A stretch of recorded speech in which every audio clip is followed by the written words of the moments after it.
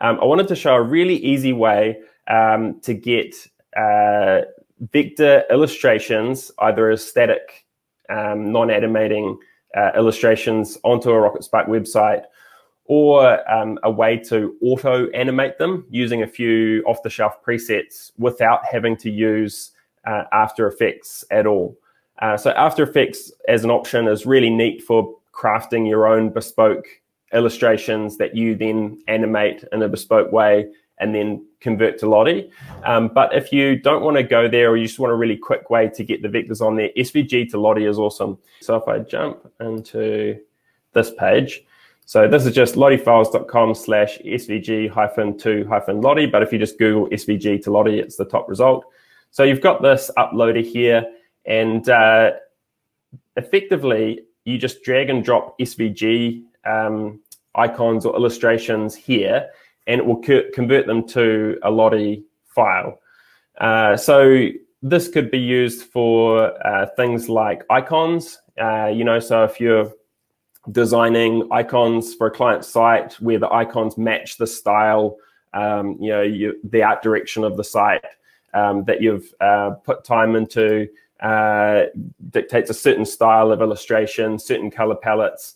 Um, it means that you can actually use um, these illustrations that you've created in Illustrator, export them to SVG, upload them here, and this is now a vector on the web. So I could embed this uh, in an HTML block, uh, and it'd be a vector icon on a Rocketspark website.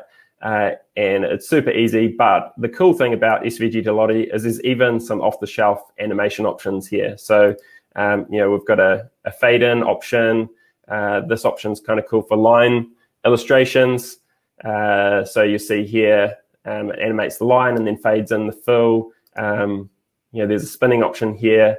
So different animations will suit uh, different illustrations. So obviously this one doesn't look so great because it's being chopped off. But if I uploaded, say, uh,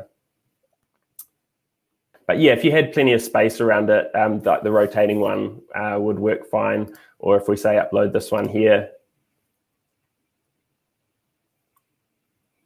So again, just a static uh, vector illustration. So, I mean, the file size of this illustration is 27K. There's no way you could get it that small with a retina quality PNG or JPEG file.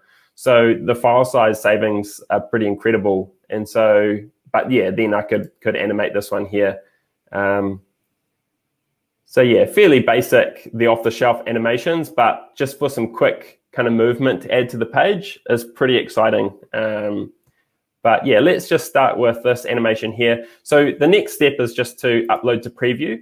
So a Lottie preview is just effectively uh, you've you've uploaded your animation to Lottie, and in your Lottie account you have these previews, and so you'll see here. Here's a bunch of previews that I've done historically, six pages of them. Um, and so if I jump on this one that I just uploaded, so you can see it here. So there's 180 frames. So typically the um, the animations that I've been doing um, when I've done my own animations and After Effects are sort of around that 200 frames mark. That seems to be sort of about the right amount. Um, you'll see here the convert to GIF button, so that can convert this to GIF for those other formats that I was talking about. Um, you can publish them to the public LottieFiles community, uh, but if you want to embed it um, onto a Rocketspark website, you just click this expand button here up in the top right corner and then handoff up here. And then hidden away over here, there's a little edit pencil.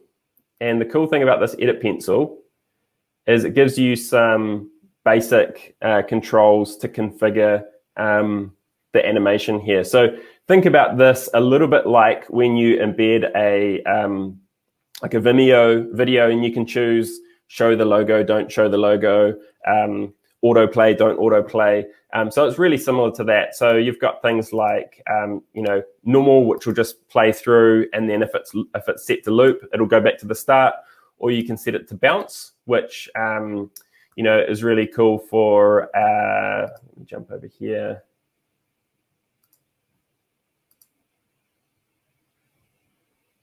So on this one here, you'll see where it jumps back to the start.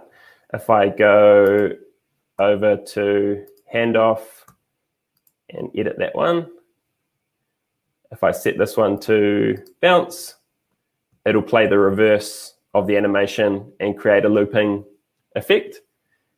Um, in terms of actually adding these to a Rocketspark website, I always set the width as 100% and the height as just nothing in that field. So what width 100% will do is it'll make the uh, Lottie file um, scale up to fit the column width. So whether that be a two column stack and you're wanting the animation in the right hand column, or it's a full width um, stack, one column with the Lottie going edge to edge, uh, 100% will mean that it'll automatically scale that Lottie to fit the column width at all screen sizes and it even plays on mobile.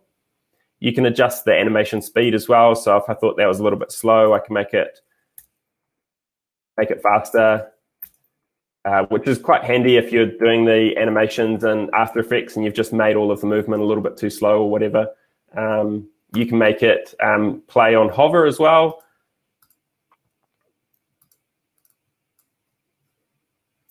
which I'll show later. Um, sometimes this uh, preview is a little bit um, delayed in terms of applying your settings, um, but you'll want to hide the controls as well. Um, obviously, they don't look that great. Um, but yeah, if you just want an autoplay looping animation, um, then this is the settings that I would use. Uh, and you can change the background color as well.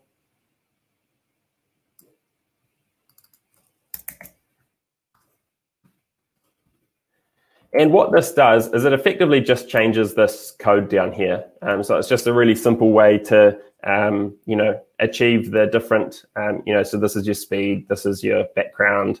Um, and so it's just a matter of copying that code, uh, which I'll jump over to this one again.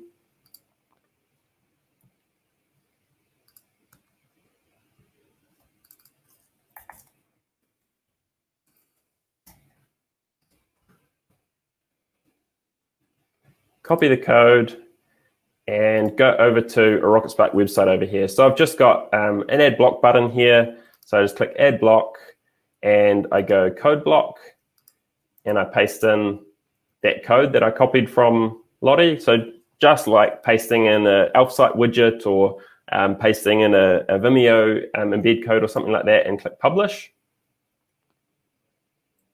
And now I have this vector animation on the page here.